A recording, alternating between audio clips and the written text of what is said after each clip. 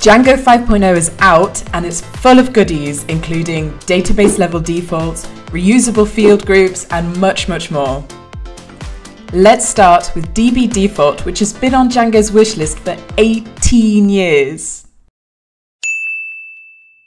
When a field has a default, you might expect it to also exist on the database schema. But nah, there's no default on this database column. Instead, Django passes this default as a parameter every time it adds a new row to the table. But now, in Django 5.0, I can set db default value and after migrating, I can see the default value on the database schema. If you love this feature, you can thank Lily Foote for bringing this into Django.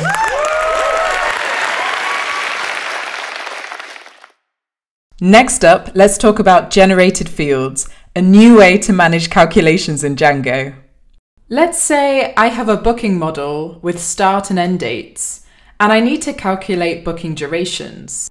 I might make a model method to calculate duration. Or I can update my model manager and have this annotated onto the query set. But with both of these options, the field doesn't exist on the database, so I can't index it. But now I can use a generated field for this scenario. This field is kept up to date automatically by the database. I can choose to persist this, which means I can index it. Now, this calculation has to be deterministic, which means it can only be, well, determined by the values in that row. So it can't rely on who is updating it or when is it being updated? It can't rely on other rows or other tables. Got it? Got it. I've linked a great article by Paulo, which has loads of examples of generated fields that can inspire you. There's loads more ORM features, including more options for declaring model field choices such as callables and mappings. Update or create has a new argument create defaults which allows specifying different field values in the create case. And my personal favorite, prefetch related now supports prefetching generic foreign keys with non-homogeneous result sets.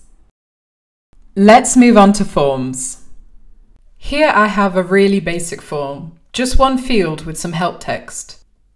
When I render this form in a Django template, I see this field with its label and help text wrapped in a div. Now, I wonder what happens when I just render my form's field. Wait, what? I don't have my label or my help text, I just have an input here uh, I have this form and I just want to tweak the layout a bit, put a couple of fields side by side, but Django can't help me. I'm going to have to rewrite this whole form in HTML. Or do I? As of 5.0, we can render a field with its label, help text, and errors by using as field group. And if you don't like Django's template for field group, you can use your own. You can set this on a form field level by setting the field's template name to the file containing your HTML snippet. Or you can set this as your project default by updating your form renderer setting. David Smith has been improving forms in Django over the past few releases. He's also the maintainer of Django Crispy Forms, which means he really gets our form needs. Thank you so much, David. The release manager of Django 5.0 was Natalia Bidart, the new Django fellow. This is also her first time as release manager, so congratulations, Natalia. She's working alongside Mariusz Felisiak as one of the two fellows that takes care of Django. The releases simply wouldn't happen without them.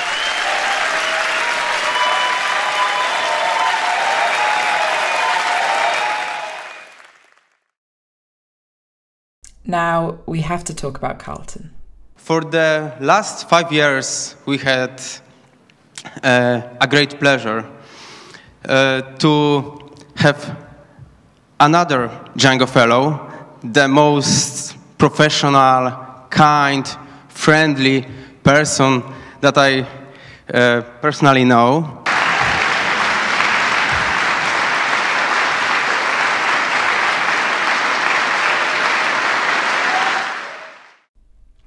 Fortunately, Django is so much more than a framework. Django is a community, and Carlton's always going to be a big part of that.